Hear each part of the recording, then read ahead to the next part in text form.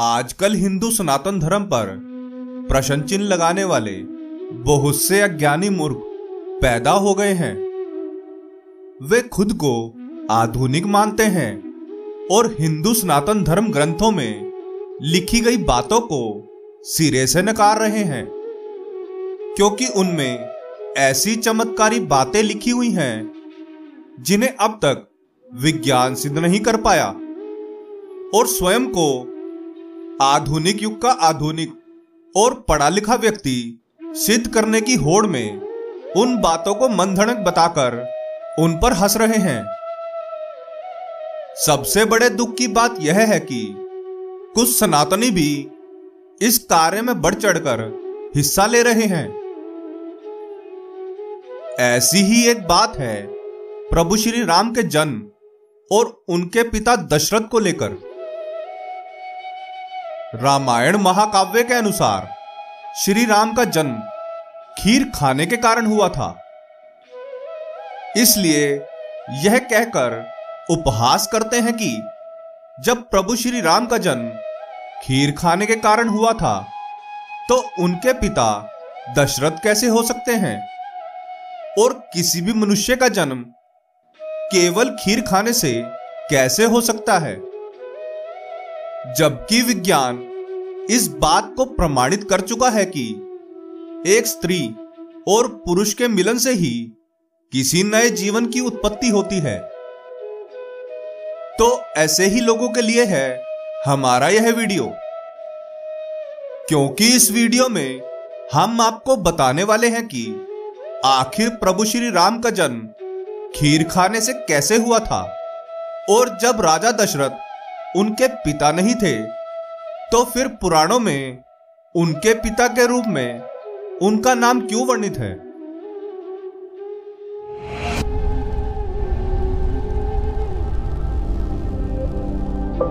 प्रणाम मित्रों, ज्ञान और वैराग्य चैनल में आपका बहुत स्वागत है। यदि आपने अभी तक हमारे चैनल को सब्सक्राइब नहीं किया तो जल्दी से कर लें। और वीडियो को लाइक करना ना भूलें। तो आइए शुरू करते हैं आज का यह वीडियो। रामायण महाकाव्य में वर्णित है कि राजा दशरथ के पुत्र नहीं थे और पुत्र प्राप्ति के लिए उन्होंने अपने गुरु ऋषि वशिष्ठ के कहने पर अश्वमेघ यज्ञ तथा पुत्र कामेष्ठी यज्ञ का आयोजन करवाया। और यज्ञ करवाने के लिए उन्होंने ऋषि रिंगी को आमंत्रित किया।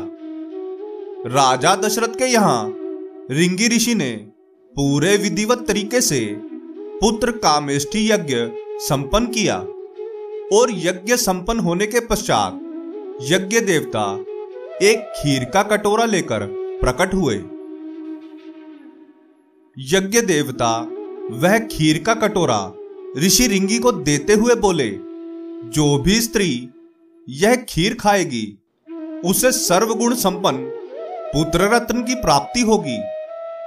ऋषि रिंगी ने खीर का वह कटोरा ऋषि वशिष्ठ को दिया और ऋषि वशिष्ठ ने राजा दशरथ को दिया। राजा दशरथ ने उस कटोरी की खीर का एक भाग अपनी पत्नी कौशल्या को दिया और एक भाग केकई को दिया। परंतु सुमित्रा को बाकी दोनों रानियों से अधिक खीर मिली, जिस कारण नौ महीने के बाद केकई और कौशल्या को एक एक पुत्र रत्न की प्राप्ति हुई और सुमित्रा के दो पुत्र हुए। केकई के पुत्र का नाम भरत और सुमित्रा के पुत्रों का नाम लक्ष्मण और शत्रुघ्न था और कौशल्या ने प्रभु श्री राम को जन्म दिया। इस प्रकार से राजा दशरथ के यहाँ चार पुत्र हुए। उनके केवल चार पुत्र नहीं थे, बल्कि एक पुत्री भी थी, जिसका नाम शांता था। राजा दशरथ के यहाँ जिस प्रकार चार पुत्रों का जन्म हुआ, वह प्रसंग बहुत से लोगों को भ्रमित करता है। कि जब राजा दशरथ ने अपनी पत्नियों से मिलन किया नहीं और उन्हें पुत्र रत्न की प्राप्ति हुई तो फिर वे किस प्रकार से अपने पुत्रों के पिता कहलाए? किस प्रकार से वे प्रभु श्री राम के पिता कहलाए? जबकि उनकी माता तो कौशल्या थी, क्योंकि जब एक स्त्री और पुरुष का मिलन होता है तभी संतान प्राप्ति होती है। और उस संतान को पिता का नाम दिया जाता है। तो फिर प्रभु श्री राम को उनके पिता का नाम क्यों मिला? तो इस प्रश्न का उत्तर बहुत ही पौराणिक है, क्योंकि प्राचीन समय में ही एक स्त्री त्याग का पर्याय कर रही है। एक स्त्री संतान को जन्म देने और अपने पति का वंश आगे बढ़ाने के लिए अपना सब कुछ त्याग करती है। यहाँ तक कि अपने प्राणों का त्याग करने के लिए भी तत्पर रहती है। संतान को जन्म देने के उपरांत भी वह उसे अपना नाम भी नहीं देती, अपना नाम भी त्याग कर देती है। जब भी कोई स्त्री संतान को जन्म देती है तो उसके नाम के साथ उसका नाम कभी नहीं जुड़ता। उसके पिता का नाम ही जुड़ता है। आप में से सभी लोगों के नाम के पीछे आपके पिता का नाम जुड़ा होगा। माता का नाम नहीं। आपको आपके पिता के नाम से हर कोई जानता होगा।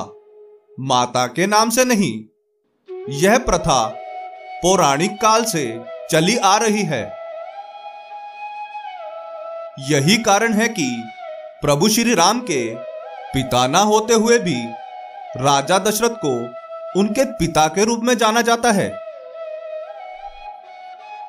यदि आपको हमारी यह कथा अच्छी लगी हो तो वीडियो को लाइक करके हमें प्रोत्साहित ज़रूर करें। आशा करते हैं कि हमारी प्रस्तुति आपको काफ़ी पसंद आई होगी। आपसे अनुरोध है कि आप इस वीडियो को ज़्यादा से ज़्यादा लोगों तक पहुँचाने के लिए लाइक, शेयर और सब्सक्राइब करें। धन्यवाद।